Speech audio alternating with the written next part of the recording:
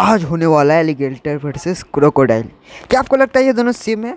But ऐसा कुछ नहीं है, ये दोनों अलग है। देखो एक क्रोकोडाइल है, एक एलिगेटर है। एलिगेटर ना ब्लैक ब्लैक टाइप का होता है क्रोकोडाइल नॉर्मल टाइप की होती है। एंड इसके माउथ की शेप की बात करें ना तो फिर हम क्रोकोडाइल का वी शेप का माउथ होता है एंड ना फिर एलिगेटर का यू शेप का माउथ होता है। डेट्स डिफरेंट एक सिंपल सा डिफरेंस एंड देखो भाई, और एक का स्किन डार्क स्किन होता है, एक का लाइटर स्किन होता है। ये दोनों अंतर ही इन दोनों भेंडाओं में।